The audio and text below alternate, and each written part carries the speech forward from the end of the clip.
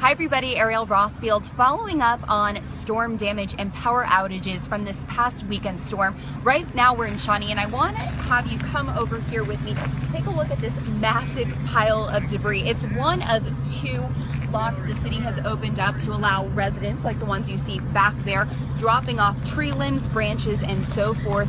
Some of the employees working this site tell me it's the largest amount of debris they've seen from a storm so far this year. Now, as residents continue to clean up their homes, a lot are still without power. We're learning thousands as crews work around the clock to restore it.